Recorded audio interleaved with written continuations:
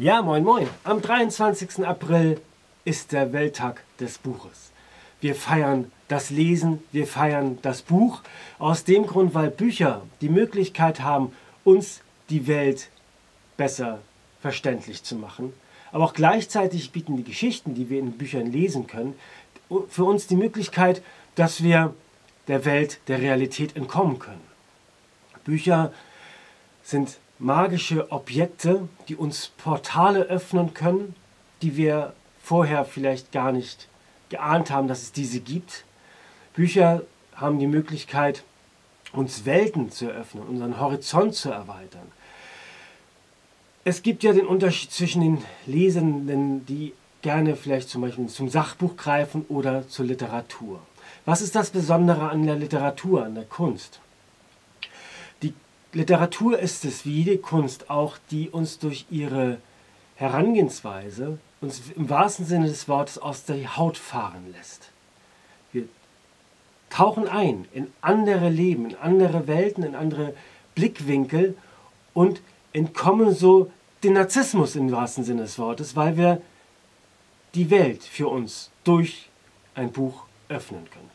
Diesen Fragen sind zum Beispiel nachgegangen Debbie Tung, eine Illustratorin, Autorin aus Birmingham, die hat das Buch geschrieben, diesen Graphic Novel Book Love, sowie auch Dennis Scheck. Er hat einen neuen Kanon aufgestellt über die Weltliteratur. Der Beton dieser Graphic Novel richtet sich eher an jüngere Leser, aber auch als Buchliebhaber sollte man dieses Buch nicht meiden, sondern man findet sich dort auch wieder. Es ist, wie ich schon sagte, ein Graphic Novel. Aber wir lernen hier eine junge Frau kennen, die komplett in ihre Liebe zum Buch aufgeht und gleich von vornherein für sich feststellt, Bücher schaffen Welten, Bücher kann man in jeder Wetterlage lesen und Bücher sind immer wieder die besten Freunde. Weil wenn man ein Buch beendet, verlässt man Freunde, die man gerade kennengelernt hat. Aber man hat bei jedem neuen Buch wieder die Möglichkeit, auch wieder neue Freunde kennenzulernen. Ein sehr humorvolles, liebenswürdiges Buch über die Liebe zum Buch. Dennis Scheck, sei noch erwähnt, schon sagte, er hat einen Kanon aufgestellt, wo er über seine Bücher schreibt, die er meint, in diesen Kanon einzubringen. Das heißt, es ist ein Kanon, der ein bisschen auch anders herangeht, als man es vielleicht bewusst vorher gemacht hatte. Es sind hier Bücher, die vom Genre übergreifend sind. Wir finden hier Bücher aus dem äh, Fantasy-Bereich, wir finden hier auch Kinderbücher oder auch zum Beispiel ein, ein Comic, Tim und Struppi. Alle reihen sich ein, keiner nimmt einen anderen Platz weg, weil es sind Bücher, die die Möglichkeit haben, unseren Horizont im wahrsten Sinne des Wortes tatsächlich explodieren zu lassen. Er hat zum Beispiel hier nachgeht der von äh, Vergleich, zieht zum Beispiel den Vergleich zu Parsival mit Hemingway. Er hier auch gleichzeitig auch wiederum schaut auf Game of Thrones, was das in der Leserwelt geschaffen hat. Er macht ein großes Fass aus über Bücher, die wichtig sind, die für ihn wichtig sind und es macht dementsprechend Spaß, ihm zu folgen, weil er hier auch gleich im Vorwort klar macht, was das Buch tatsächlich für ihn bedeutet. Er zitiert auch dabei äh, Robert Gernhardt. Ums Buch ist mir nicht bange, das Buch hält sich noch lange. Man kann es bei sich tragen und überall aufschlagen. Sofort und ohne warten kann das Lesen starten. Im Sitzen, Liegen, Knien, ganz ohne Batterien und so weiter und so weiter. Selbst Robert Gernhardt hat hier schon den Liebesbeweis erbracht. Mein letzter Leseschatz will hier auch nochmal erwähnt werden, weil es passt auch in den Reigen hinein zum Welttag des Buches von Satoshi Yagisawa, Die Tage in der Buchhandlung Morisaki.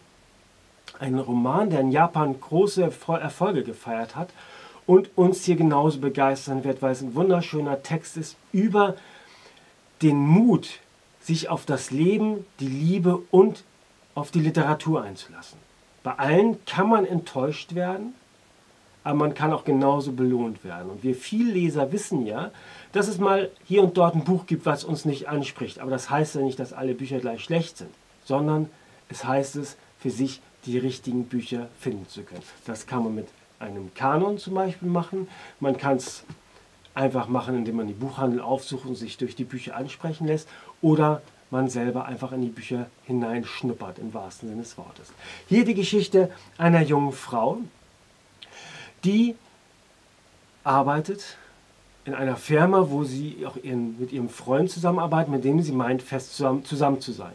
Eines Tages gehen die beiden essen und während, während dieses Essens sagt er ihr, dass er demnächst heiraten wird. Das sagt er sehr freudig. Da sie aber nicht die zukünftige Braut ist, bricht jetzt eine Welt für sie zusammen. Und sie kann dort auch nicht mehr arbeiten und kündigt und zieht sich in ihre Wohnung zurück. Eines Tages meldet sich ihr Onkel und lädt sie ein, bei, sich, bei ihm zu arbeiten in der Buchhandlung, in dem Antiquariat, hat oben noch ein Zimmer, was sie dann dementsprechend nutzen können, wenn sie in den Vormittagsstunden ihm im Laden unterstützt. Sie ist keine Leserin. Erstmal findet sie sich nicht so richtig zurecht in dieser Welt, aber taucht dann doch ein und greift eines Tages auch zu einem Buch und fängt an zu lesen und wird begeisterte Leserin.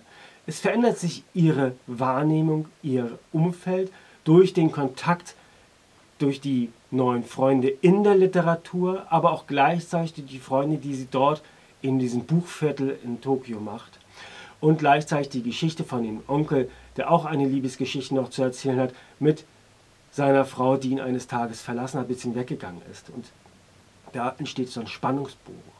Es entsteht auch ein weiterer Spannungsbogen, weil sie auch gern ein Café in diesem Buchviertel besucht und dort auch weitere Menschen und Freunde kennenlernt. Ein Buch, wie ich schon sagte, was Mut macht, sich auf Liebe, Leben und Literatur einzulassen. Passend zum Welttag des Buches. Ich wünsche ganz viel erlesene Stunden, viel Spaß beim Lesen und bleiben Sie belesen. Tschüss!